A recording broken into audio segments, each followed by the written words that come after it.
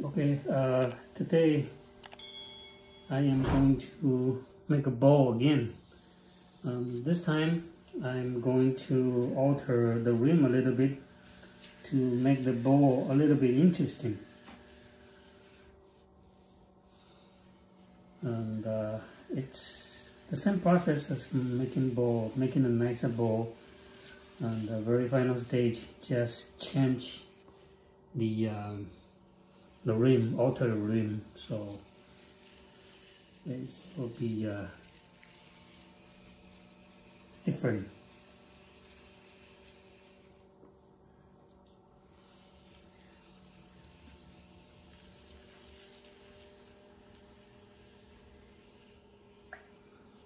I'm still uh, making, uh, shooting the uh, video from the top so you will see uh, where is my hand especially on the inside. So this time I am using my left hand drill on the right hand. The right thumb is helping it. And I always brace my uh, fingers together while I'm doing all my action bracing together to stabilize it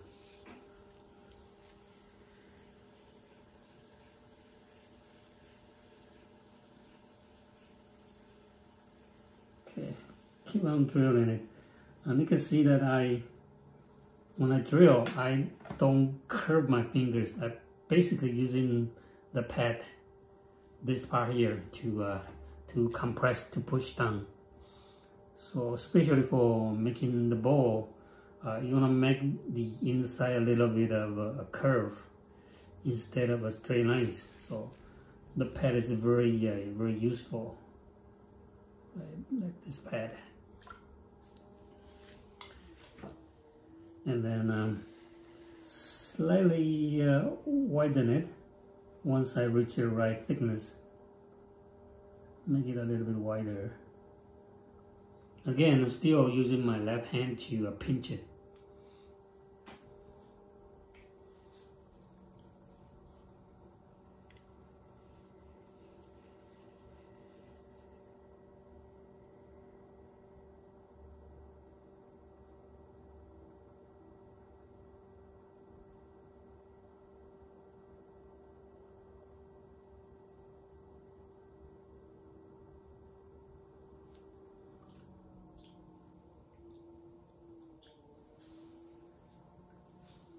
and make sure it, it is slippery before the next move. Especially making ball uh, the inside dried out really fast so you have to uh, really lubricate it. And for the outside here uh, from this angle uh, you see that there's still uh, quite a, a, bit of uh, clay here in the corner. And if you don't squeeze it up you're going to waste that clay here in the corner so I'm going to uh, just squeeze it. Using my right fingertips to do that. And you can see from that camera.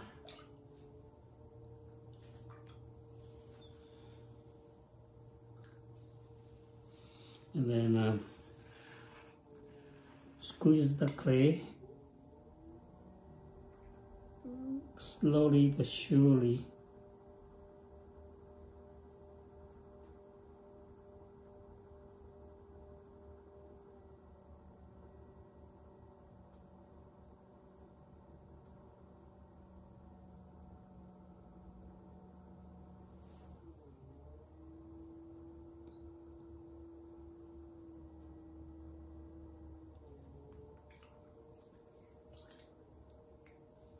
Put the slip back to work.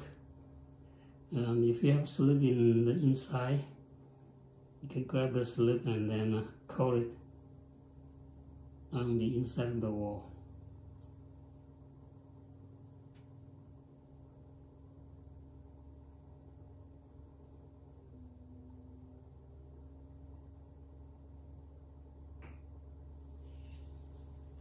That take care of the inside and then uh, a little bit water.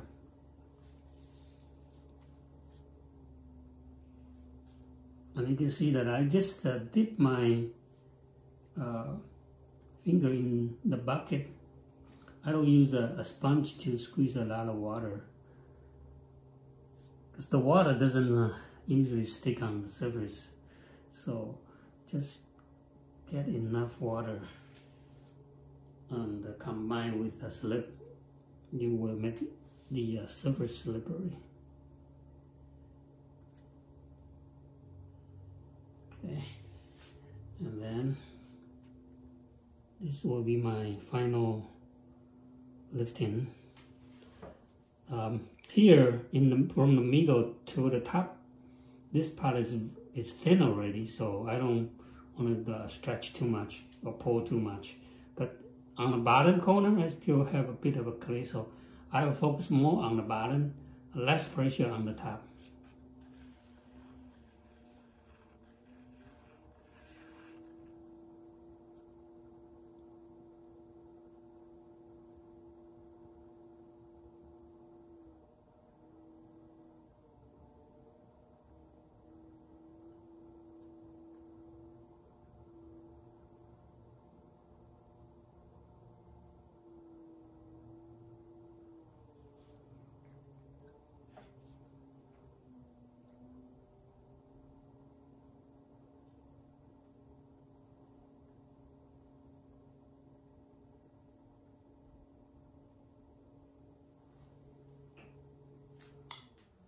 right and then um, I'm ripping outside first.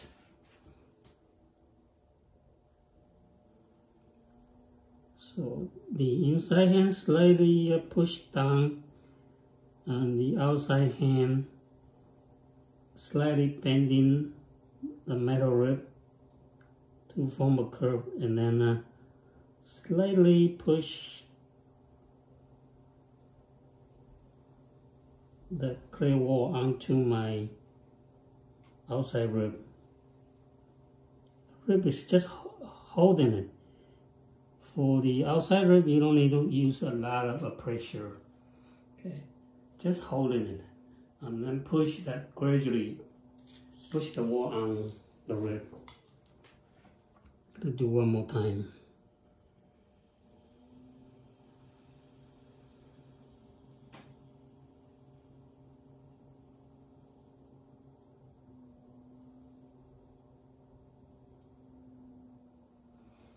Okay, so that take care of the outside.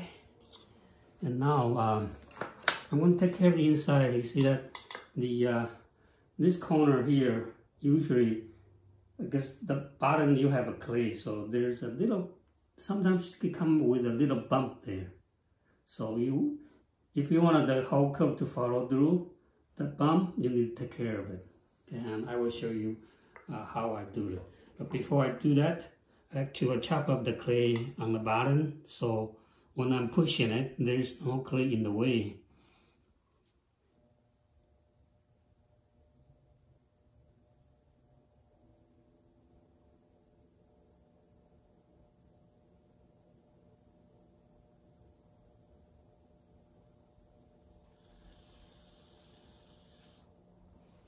I'm, I'm using the wooden knife on usually the uh, if you go to the uh, share studio, the knife, especially when it comes to uh, the basic kit, the knife is kind of dull.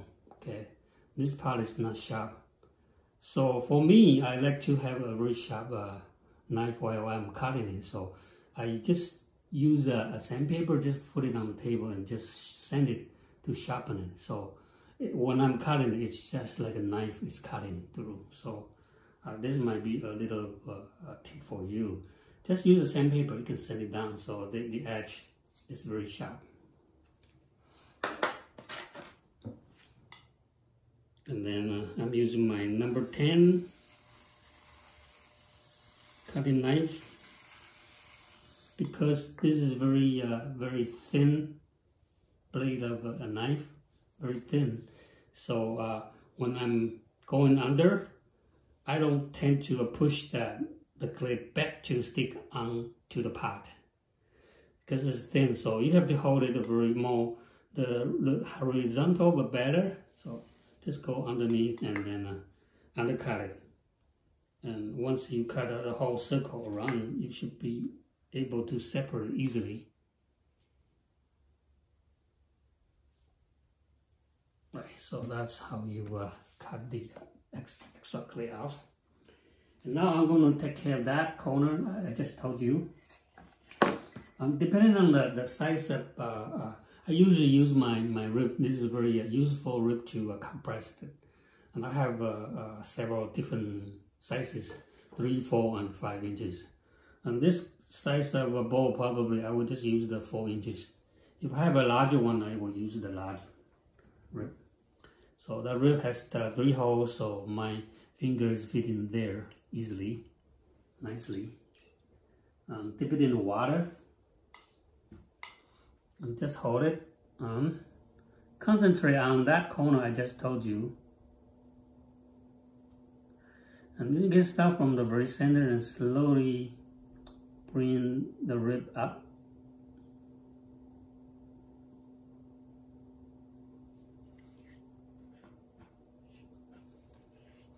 Remove the slip and then uh, go again. And while you are using this wooden rib okay so the rib if you hold more vertical you are going to have a smaller curve. But if you tip over then your the curve is getting shallow and shallow so when you hold it like that okay you can actually compress a, a, a platter platter platter so that way or that way is depending on how uh, what is what is your curve you, you like to achieve. So I usually start with the more vertical and then once I move to the side I kind of uh, make it more horizontal so it's more, more shallow. That curve here is more shallow and then slowly go up. And I don't need to go all the way. I just want to connect the uh, curve all the way through. And here I can use my hand to uh, bring it. So you don't need to go all the way. Okay. Let me uh, get the sponge and wipe up the water. So you will see inside better.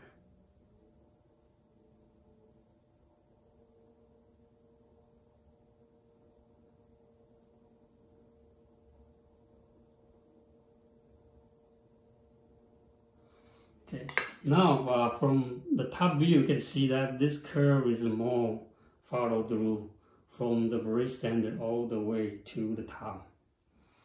But when I'm using the uh, sponge or using the wooden rib, there's some texture from either the sponge or the the uh, uh, wooden rib. So usually I like to remove it.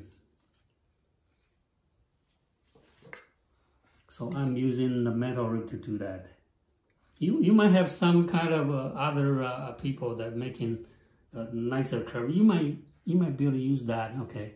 But uh, I don't have that, so I just use the uh, metal. This is come with the uh, basic kit. Slightly depending the rib, then uh, from the almost the very center, and then slowly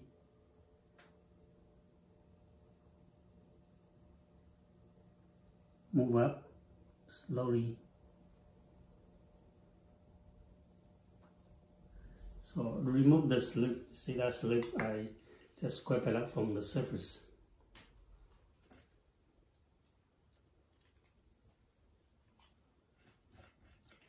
And do it one more time, um, I should be able to uh, to make the whole uh, curves follow through the very center point, I can use my thumb to just take care of it a little bit. And then uh, maybe a quarter of inch away from the very center, this, uh, this is very sharp. So you might, uh, if you cross over the center point by accident, that rib is going to gouge in, and then you will have a cut there. So always start from the quarter inch away from the very center. And slightly bending the rib, fitting the curve, and just let it follow through.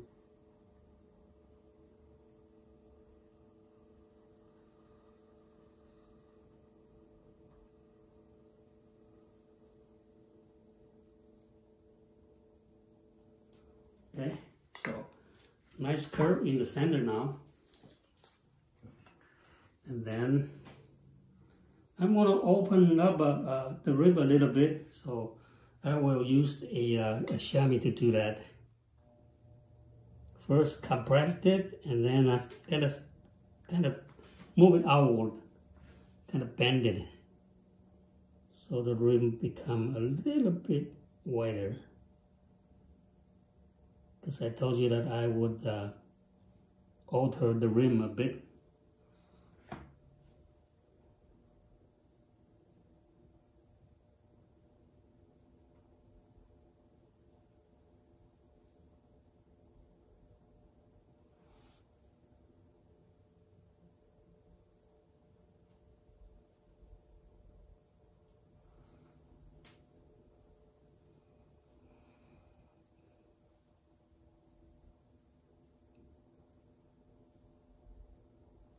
Okay? So that's the the bowl that uh, I formed. It and then uh, I wanted to alter uh, maybe a six-sided. I would uh, squeeze it in. So to be able to find a nice equal part uh, I usually find from my um, my bed there's uh, the pinholes so the upper side is that is 180 degrees and then uh, at that. You will find that from here to here. So kind of uh, eyeball it okay? You don't need to have you don't need to do it exactly. Just eyeball it okay? So that's the uh, two equal parts three equal parts now. And then turn it over here again. Just eyeball it. Before you uh, uh, push squeeze alter the rim, you can still uh, adjust it. So just give yourself an idea that uh, six equal parts. And then um, I will uh, just use the, the same rib, use the edge of the rib, okay, just push. Okay, so I will start uh, from the pin here, okay. So the pin is right here, so I'm going to uh, push it in but when you push, you might want to put the finger, two fingers to support it, okay? So you kind of split two fingers, same level, okay? Two fingers not the same level, but one you can curve more, like that, okay? So more support here. And then split up uh, your fingers and then squeeze it, okay? And if you like, it, you can clean up that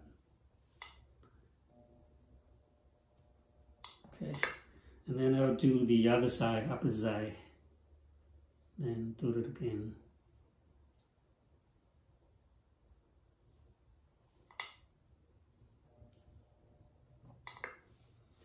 And here and there.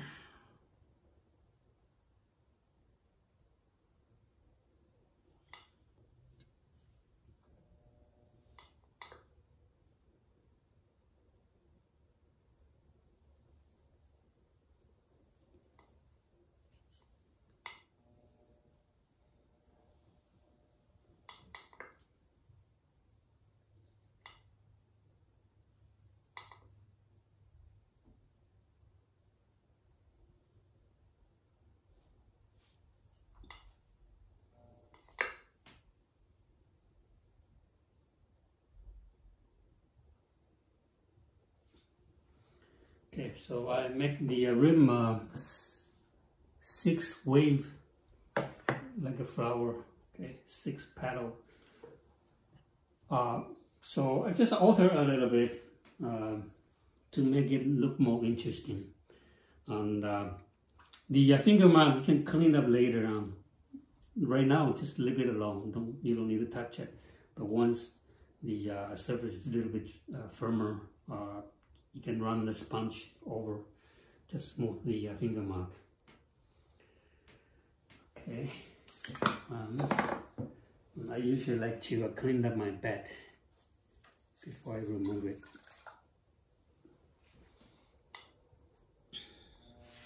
Clean up. And uh, from the top view, you can see um, I barely have water in my splash pan. My splash pan is dry. It's it's dry. Okay. So you want to use the water efficient. Uh, that is the uh, important part. Uh, you don't use uh, waste a lot of water. Water is going. Water doesn't stick on the surface. Going to the drain here. So use the water efficiently. That's the key. All right. Uh, hope this help. I know a lot of people like to do, do bowls, and uh, you, if you are tired of uh, getting all the same look, uh, circular shape, you can alter a little bit. Okay.